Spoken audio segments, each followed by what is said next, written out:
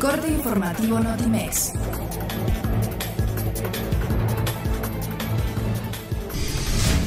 El presidente Enrique Peña Nieto y el primer ministro de Canadá, Justin Trudeau, expresaron su rechazo a la decisión de Estados Unidos de imponer aranceles a las importaciones de acero y aluminio provenientes de Canadá, México y la Unión Europea a partir del 1 de junio. El presidente del gobierno español, Mariano Rajoy, se reunió con ministros y colaboradores cercanos en un restaurante del centro de Madrid, mientras el Congreso de los Diputados debatía una moción de censura en su contra.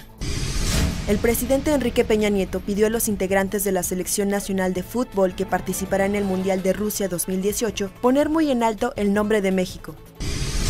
Luego de la temperatura de 32.6 grados de este jueves en el Valle de México, el Servicio Meteorológico Nacional destacó que la temperatura máxima reportada en la historia de la capital es de 38.5 grados, que se ha sentido en cinco ocasiones en diferentes años.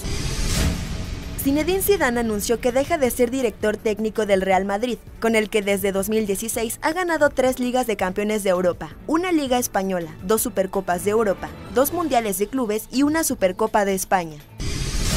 El director técnico de Chivas, Matías Almeida, agradeció en sus redes sociales a la afición y los jugadores de Guadalajara su apoyo y muestras de cariño ante su inminente salida del club.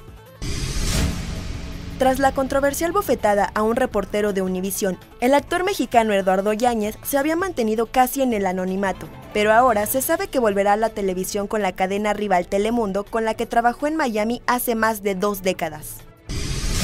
Notimex, Comunicación Global.